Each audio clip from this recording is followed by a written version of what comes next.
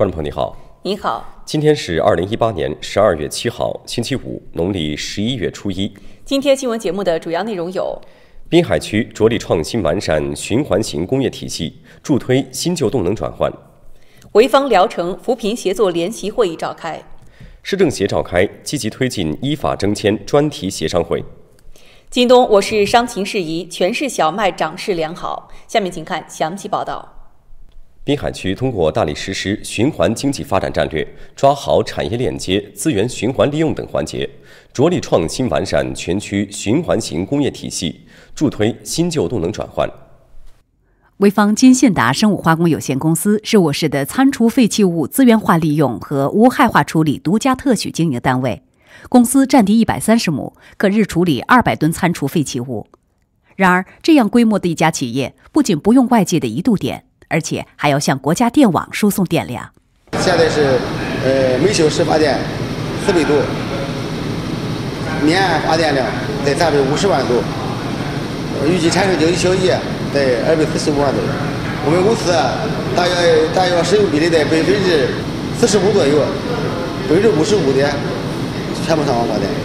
原来公司今年新上了一台沼气发电设备。它可以把餐厨废弃物资源化利用过程中产生的沼气用来发电，不仅有效提升了资源利用率，还给公司带来了可观的经济效益。在以前，这样的发电设备大都来自国外，而现在所用的这台设备却是出自我市的潍坊一达能动力有限公司。从国外采购呢比较贵，现在我们呢就从把国外这种先进的技术消化吸收以后，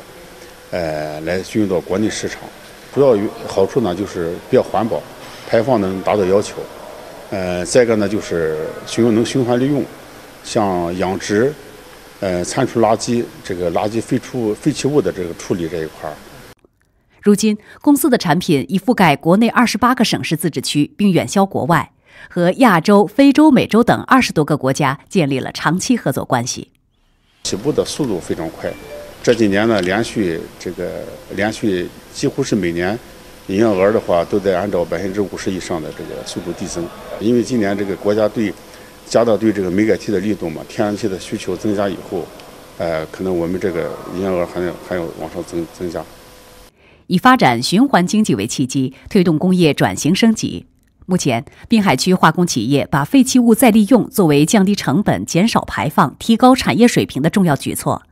通过创新驱动和科技支撑。苦卤综合阶梯利用、工业废水资源化、高温余热回收等关键技术获得了重大突破。目前，已有百分之五十以上的化工企业形成了内部小循环，百分之三十的企业参与了园区大循环体系。园区内企业近年来循环经济发展热情高涨，通过技术创新、科技研发等渠道，实施了一批新型产品替代、